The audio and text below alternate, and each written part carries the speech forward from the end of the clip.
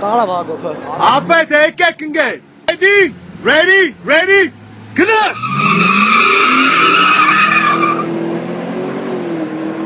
I just